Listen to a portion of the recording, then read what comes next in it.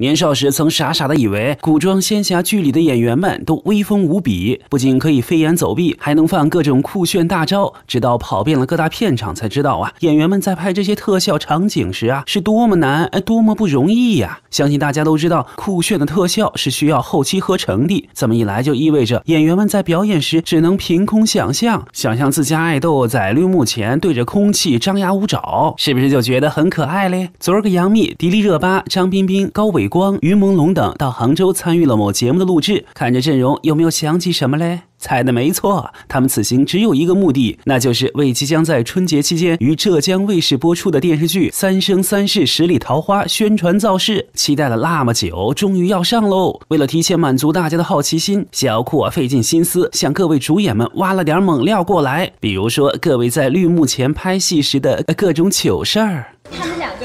在那个桥上相会，好像是，然后很多天君啊，很多就是仙妖界所有人都在，然后要地动山摇，然后我当时刚好站在前面那一排，然后就要地动山摇，然后我就好就好入戏啊，我就哈就在那地动山摇，然后导演说咔咔咔咔咔，说张彬彬，他说你你摇的不对，他说你这摇的不对，然后说你过来看一下回放，过来看完之后过来，然后导演就在那个拿着麦就说你一会儿要像热巴一样的摇，大家来看热巴摇，对，热巴摇的特别好，他的那个完全就有那种什么石头落下来，然后整个房子都在晃，他摇的特别好，而我就出卖了所有人。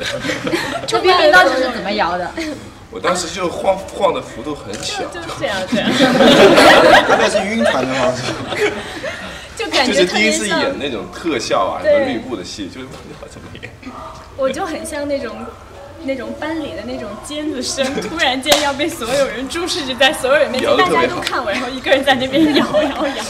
其实，除了要对着空气全凭自己想象来演戏之外呀，演员们还面临一个不小的挑战。比如说，跟咱们大幂幂演对手戏，于朦胧要演大幂幂哥哥，这个就不算什么了，毕竟大幂幂永远是十八岁的少女。但张彬彬就不一样了，一上来就演幂幂的初恋，而且还有亲密戏哦，想来这压力应该不小吧？其实我自我自己是家里比较小的，然后我没有妹妹，但是幂幂就经常会有一种，就是她还是看上去很少女的一个小女孩的性格，所以就自然会让我有哥哥的那种保护欲。《三生三世》里演的角色是一个情场的一个一个浪子，对，这是和蜜姐谈了第一段恋爱，初恋，然后没有给她一个很好的初恋的回忆，对，那跟蜜姐谈恋爱怎么样？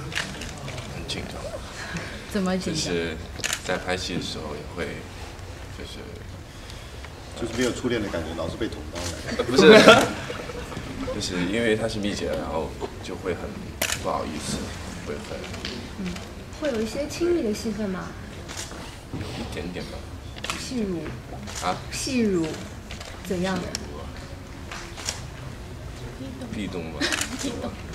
听各位主演这么说下来呀，似乎咱们三生剧组都很有爱呀。既然平时笑料那么多，就不妨再给我们爆几个料吧。前两天不是圣诞节吗？都给剧组小伙伴们送什么大礼啦？特别尴尬，只是送过觉得会不会太便宜的礼物？是送了是对对对，比如说一张明信明信片之类的。签名的是吗？我只是便宜，那就是免费的呀，明信片。不是不是签名的啦，就是，呃，可能如果你要是去旅游的地方，你来寄一个，只是说可能会有意义要大于它的价值吧。嗯，那会送自己印印自己头像的明信片给大家吗？就觉得帅吗？通常有这样的人吗？应该不会自己有吧？全娱乐过年就看《三生三世十里桃花》。杭州报道。